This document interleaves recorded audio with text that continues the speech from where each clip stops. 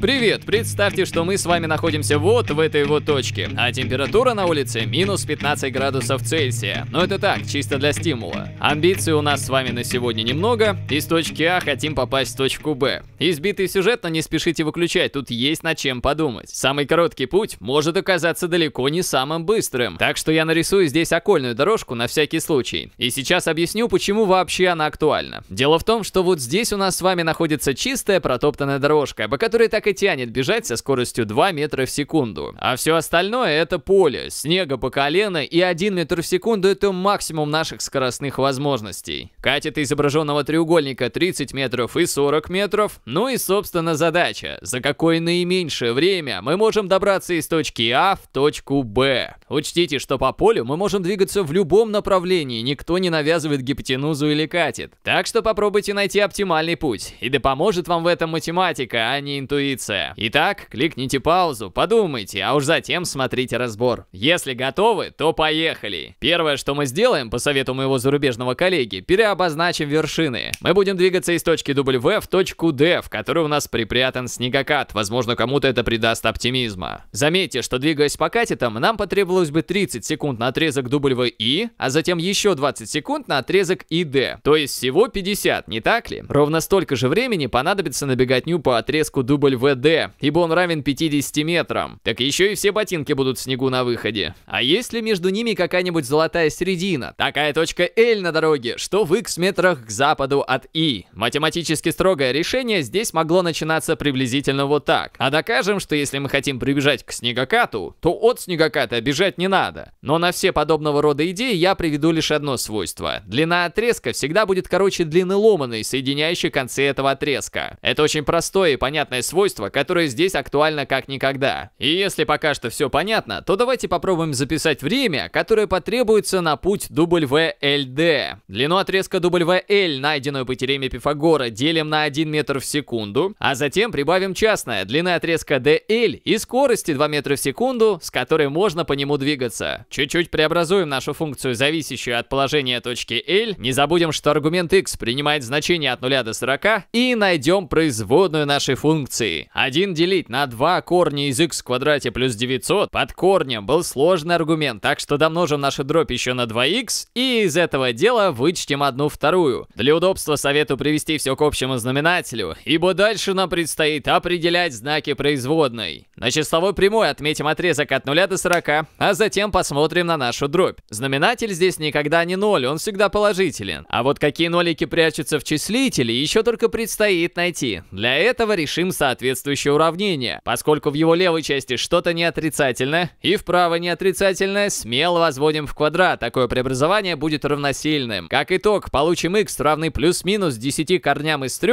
но с учетом ограничений возьмем именно положительный корень. Отмечаем его на числовой прямой, а затем по-честному определяем знаки производной. Берем конкретное значение из промежутка, например, единичку, и подставляем в производную. Получаем знак минус. А если взять число 20 или 30, например, то получим получим знак плюс. То есть можно смело сказать, что 10 корней из 3 это точка минимума функции. И для получения ответа, того самого наименьшего времени, необходимого на дорогу, нужно подставить значение 10 корней из 3 в исходную функцию t от x. Получим 20 плюс 15 корней из 3 секунд, что приблизительно 46 секунд. Если вы не испытали при этом катарсис, то давайте скажем, что это меньше 46 секунд. Сейчас-то звучит убедительней, ну? Ответ получен, задача решена, и все, кто ее одолел, возможно, когда-нибудь смогут сэкономить 4 секунды.